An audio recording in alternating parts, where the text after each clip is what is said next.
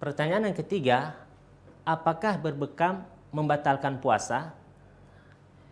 Para pemirsa share channel TV di mana pun Anda berada, ini pertanyaan sering ditanyakan oleh oleh orang-orang yang rajin berbekam. Ya, orang yang senantiasa setiap bulan dia berbekam, ketika masuk bulan suci Ramadan, mereka bingung.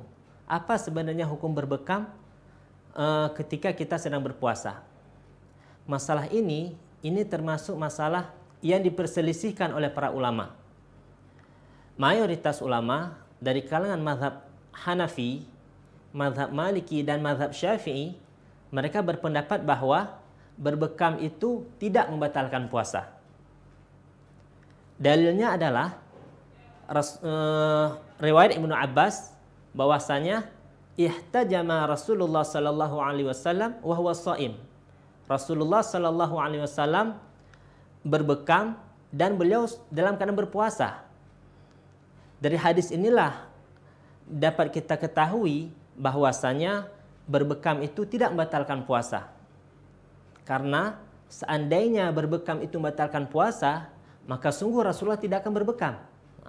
Minimal beliau akan memberikan penjelasan mengenai hukum berbekam tersebut. Adapun ulama lain atau ulama dari kalangan mazhab Hambali, mereka berpendapat bahwa berbekam itu membatalkan puasa.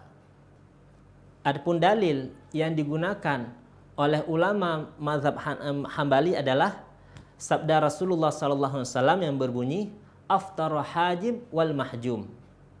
Batalah puasa orang yang berbekam, orang yang dibekam dan orang yang membekam. Jadi orang yang dibekam dan orang yang membekam dua-duanya batal puasanya. Para pemirsa channel TV di mana pun Anda berada, kita bertanya-tanya, apa sih yang menyebabkan orang yang membekam e, batal puasanya?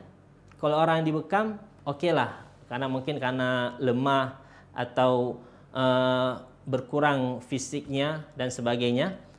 Akan tetapi, kok orang yang membekam bisa membatalkan puasa? Ada apa? Nah, ternyata metode berbekam di zaman Rasulullah Sallallahu Alaihi Wasallam dengan di zaman kita ini jauh berbeda.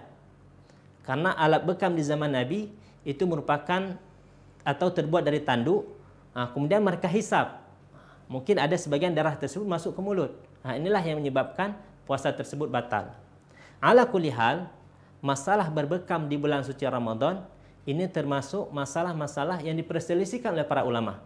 Tadi kita sudah sampaikan, mayoritas ulama atau jumhur ulama dari tiga mazhab ini berpendapat bahwa berbekam itu tidak membatalkan puasa. Adapun mengenai hadis yang dijadikan landasan oleh mazhab Hambali, ya, jumhur mengatakan hadis tersebut sudah mansuh, sudah dihapus hukumnya. Hmm. Walaupun demikian, kalau kita bisa berbekam di malam hari, itu jauh lebih baik. Karena keluar dari perbedaan pendapat para ulama. Ha, kaedah fikih menyebutkan al-khuruju minal khilaf aula. Keluar dari perbedaan pendapat para ulama itu jauh lebih baik. Maka kalau kita berbekam di malam hari, kita akan terbebas dari perselisihan para ulama. Demikian untuk jawaban nomor tiga. Wallahu alam bisawab.